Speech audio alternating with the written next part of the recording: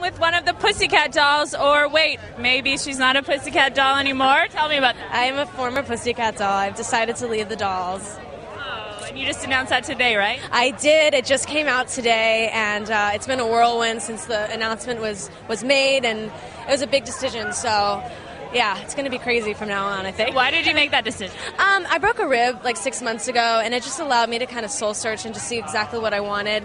And uh, it was time for Jessica. It's time for me to step out and do my own thing. Yeah. We love the dolls. I do too. I'm a doll for life. I love the dolls with all my heart. It was the most amazing experience. The girls, I mean, it was so much fun, and I'm going to miss it terribly.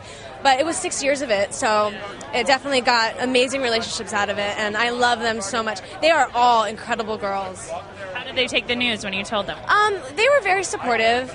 They were really supportive. You know, I think it was just kind of like they kind of knew that I wanted to go out on my own, so it wasn't a surprise. They already went without you when you had broken your ribs, so they know that. Uh, they know. I mean, you know, the show must go on. Now I hear they might be here tonight, so No, oh, I can't wait to see them. it'll, it'll all be good. There's no Oh, yeah, there's no cat fight. There's no hard feelings. They love me. I support them. They support me. no cat fighting in the Pussycat. No, unfortunately. Darn it. We were- Darn it, I know. I know. Everyone's like, is there any cat fighting? No. I mean, you know, we are, it was a girl band, and it we weren't perfect, but yeah, it's not exciting, you know, claws out type of fighting.